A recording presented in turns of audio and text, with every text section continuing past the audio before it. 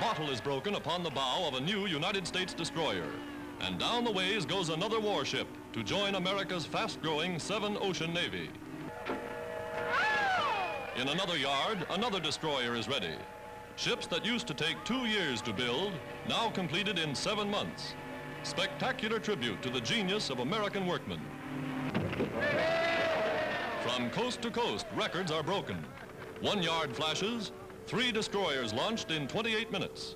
Another wires, four ships go down the ways within an hour.